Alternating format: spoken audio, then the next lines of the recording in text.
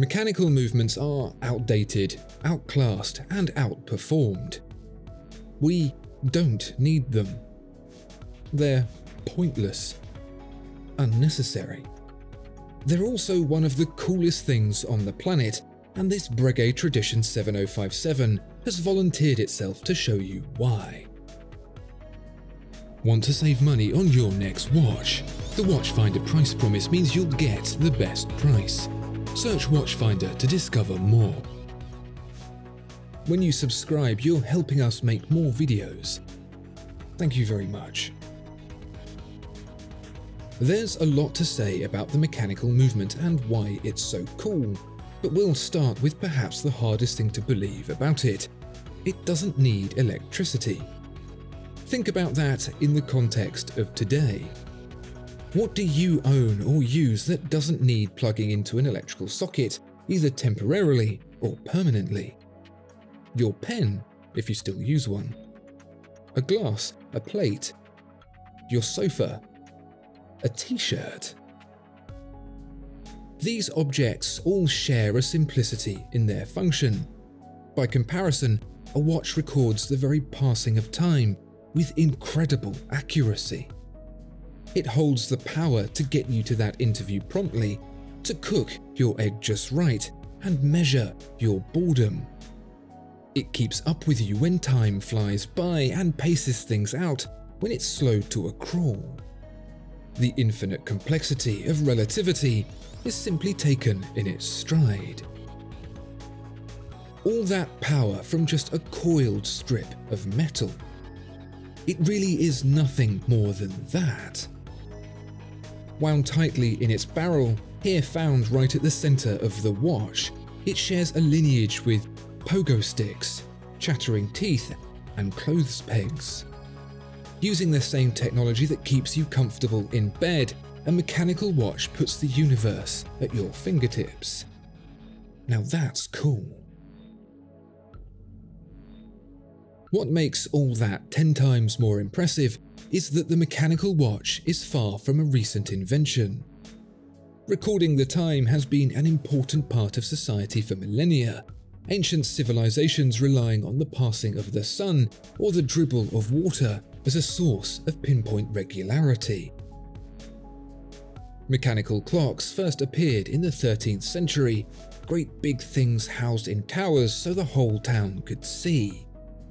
Then, like any technology, it slowly shrunk through a process of iterative refinement, all the way through to 1754, when Thomas Mudge invented the lever escapement. And it's kind of stayed there ever since. Honestly, bar some refinements here and there, the mechanism to regulate the flow of power from the spring, created by Mudge over two and a half centuries ago, marked the last milestone innovation in watchmaking.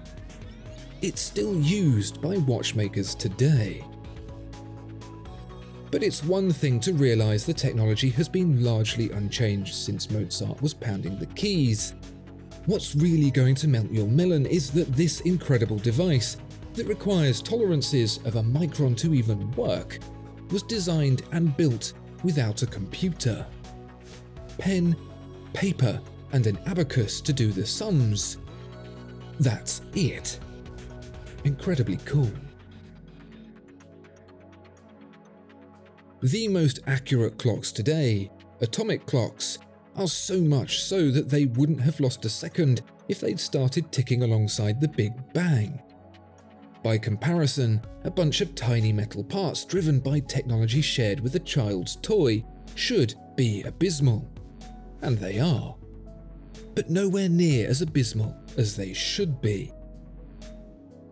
Modern mechanical watches are created in tandem with machine, and so even though the design is old, the ability to create it incredibly precisely is not.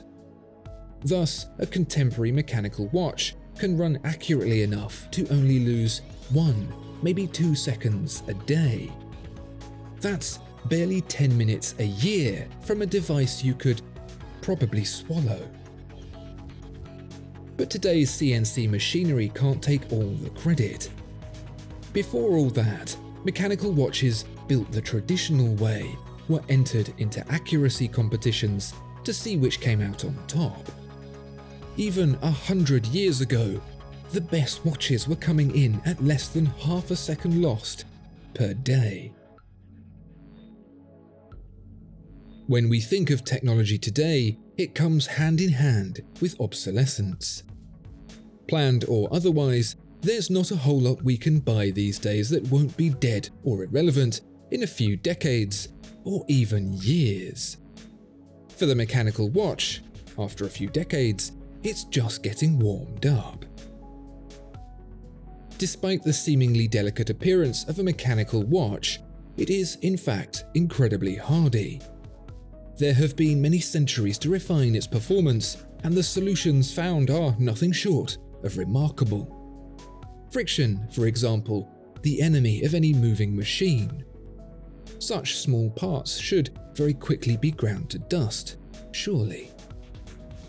Not these ones from tooth profiling that reduces contact and maximizes lifespan, to the ruby jewels that run almost friction free thanks to incredible hardness and little divots brimmed with oil, and even surface finishes designed to capture and hold potentially damaging debris, a mechanical watch can keep on trucking. Ideally, they should be serviced periodically, but they have been known to run and run well without any kind of interference a century on. Doesn't matter how old the mechanical watch is, how accurate it can be, or how long it will last. It's done, beaten, fair and square. It doesn't have a place in a modern world, and yet here it continues to exist. Why? Because they look so completely and utterly cool. I don't really need to tell you that the amalgamation of parts that should by no means operate as they do, all singing in harmony together, is a sight to behold. Every part is functional, and yet it looks like a work of art. People dedicate their lives to the beauty of a mechanical watch, spend countless quiet hours honing their craft, extracting perfection from these tiny things.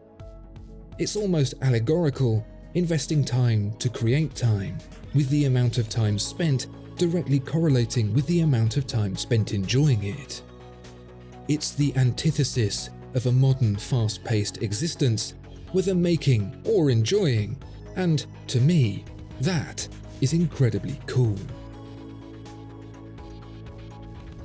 If you love mechanical watches, why don't you say why you think they're cool down in the comments below. And if you think they're not, comment why as well. I hope you've enjoyed this episode, and if you want to see more like it, please make sure to like and subscribe so we know. Thanks for watching.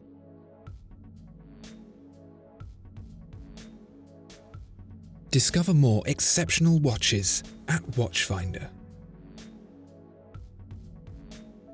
Thank you so much for watching this video. If you enjoyed it, please do consider giving it a like and subscribing to the channel. If there are any watches you'd like to see featured, please let us know in the comments below.